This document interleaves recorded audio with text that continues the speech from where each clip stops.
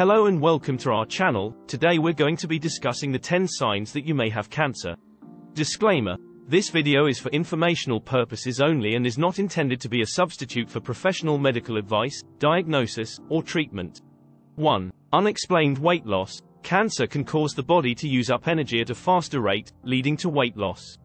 2. Fatigue. Cancer cells can use a lot of energy, leaving you feeling tired and weak. 3. Pain.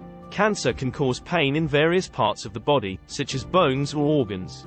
4. Skin changes. Some types of cancer can cause changes in the skin, such as discoloration or rashes.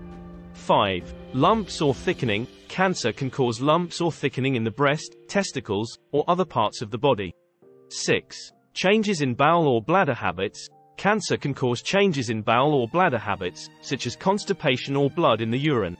7. Persistent cough or hoarseness. Cancer can cause coughing or hoarseness that doesn't go away. 8. Sores that do not heal. Cancer can cause sores that won't heal, such as on the skin or in the mouth. 9. Unusual bleeding or discharge. Cancer can cause unusual bleeding or discharge, such as from the vagina, anus, or nipples.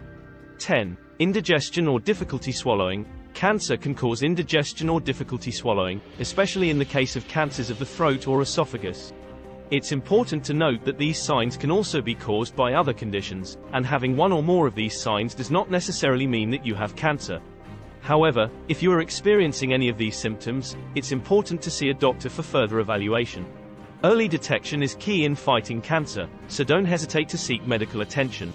Remember, this video is for informational purposes only, and it is not a substitute for professional medical advice, diagnosis, or treatment. Please consult with a physician with any questions that you may have regarding a medical condition. Thank you for watching, and we hope you found this video informative.